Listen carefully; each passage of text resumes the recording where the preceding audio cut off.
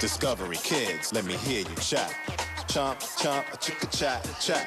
Chomp chat. My favorite cat is Pepper, and my other cat, Flash, aka Mush Mush, he trips me every time I walk, which isn't really fun for me, but it's fun for other people. I can't forget about Twinkle. See, she's on my shirt. Well, she she's really sweet, but she's a big troublemaker. Shh. Chomp, chat. Come on, yeah. Thanks.